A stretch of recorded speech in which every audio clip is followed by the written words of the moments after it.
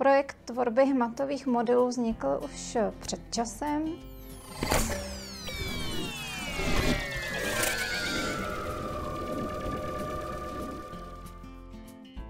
Díky mému nevědomému tchánovi, o něm jsem napsala knížku pro děti, která se jmenuje Narozeninová kočka.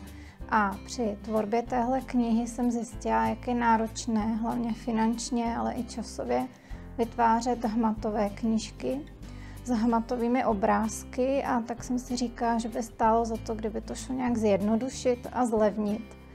A díky laboratoři nadace Vodafone a firmě Průša jsme se postupně dostali k tomu, že jsme z hmatových knih přešli na hmatové modely. Jako první jsme hmatové modely zkusili vytvořit ke knížce Kamil Malíř snů, která je o našem malíři, grafikovi a ilustrátorovi Kamilovi Lhotákovi. A právě teď jsme tady na neviditelné výstavě zkoušeli druhou sadu, která je ke knížce Překvapení skřítka Modrovouska. A my bychom byli moc rádi, aby se vytvářely hmatové modely všeho možného, co vlastně by zrakově postižení rádi uh, nějak uh, hmatem si osahali, aby měli lepší představu, jak co vypadá. Takže i vás bychom chtěli poprosit, jestli tvoříte modely, tak nebojte se zkusit i ty hmatové.